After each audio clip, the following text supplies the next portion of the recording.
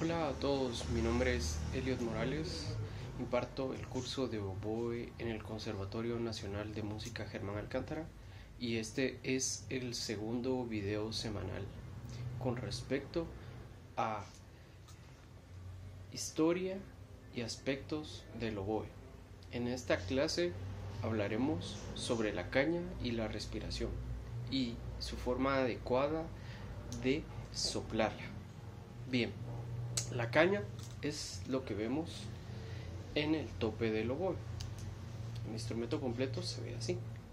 Entonces la caña es este pequeño utensilio que le da el sonido y la característica al oboe, ya que es la doble caña, en este caso, una caña superpuesta sobre otra de una manera curva. Bien, como pueden ver acá, es pequeña. Entonces la caña de por sí da este, estos sonidos.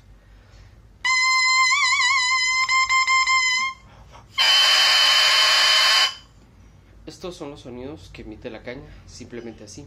Y nada más así, no lo único que puede hacer es dar algunas notas, como por ejemplo puede variar las notas. Y el instrumento, que es este, el oboe, Solo así no emite ningún sonido, aunque uno lo sople.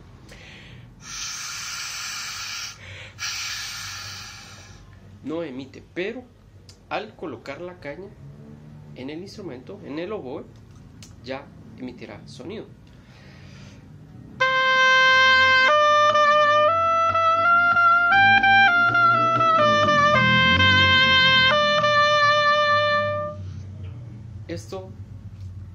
Ya la conjunción de la caña y el oboe. Bien, entonces hoy hablaremos precisamente de la caña y cómo soplarla. La caña tiene un proceso en el cual se, se compra la caña en este caso ya manufacturada de una determinada manera con unas determinadas características y el oboísta se encarga de venir y darle terminado para que quede justamente así.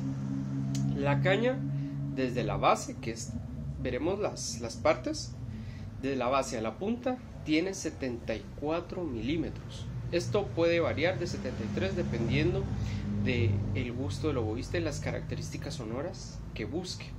Bien, entonces las partes de la caña son esto, el tudel, que vemos que es un tubito de metal que está a su alrededor, tiene corcho. Y esto sirve para que a la hora de introducirlo en el oboe no se, eh, no se suelte la caña. Bien, otra de las partes entonces ya es la caña en sí, la cual el oboísta se encarga de raspar de una determinada forma y a una de determinadas medidas. Y para sujetarla al tudel, en este caso se utiliza hilo. Hilo ahora es hilo de nylon puede ser hilo natural también, de fibras naturales, pero en este caso es nylon. Bien, entonces esta es la caña de por sí. Bien, y ahora para hacerla sonar, entonces recurrimos a lo siguiente, la técnica de la embocadura. Bien, entonces volviendo a hablar de la técnica de la embocadura, la boca debe estar, la mandíbula debe estar completamente relajada, de una forma alineada, sin hacer nada extraño ni hacia los lados, ni hacia adelante, ni hacia atrás.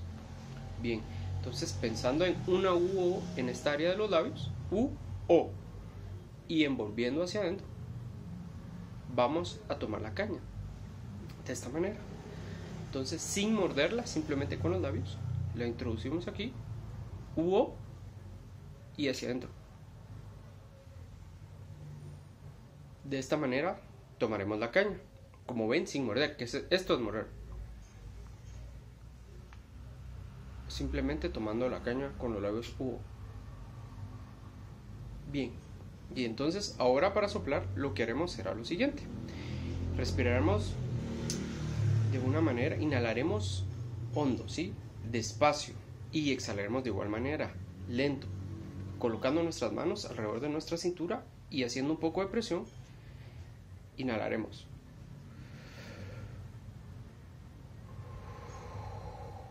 Y sentiremos cómo nuestro diafragma trabaja. que es la membrana o músculo que hace que nuestros pulmones bajen y se llenen de aire. De una, de nuevo haremos eso, inhalando y exhalando por la boca. Entonces,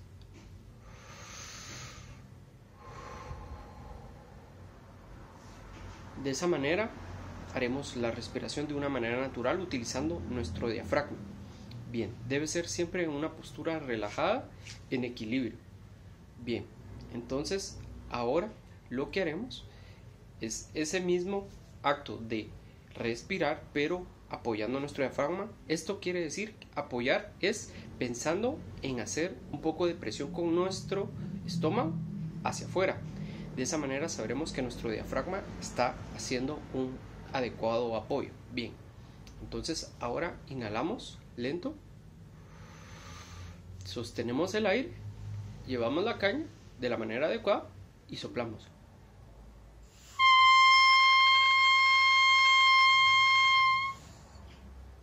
Y de esa manera se producirá el sonido. Vamos una vez más.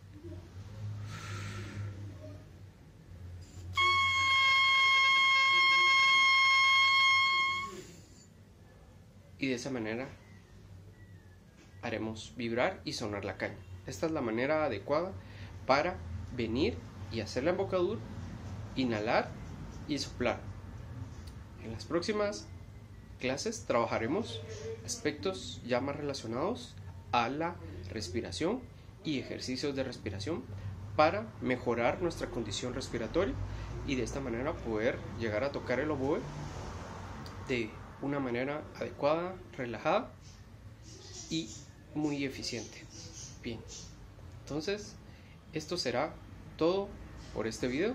Trabajamos los aspectos de la caña relacionados a la voz, su técnica y la respiración. Bien, con esto me despido.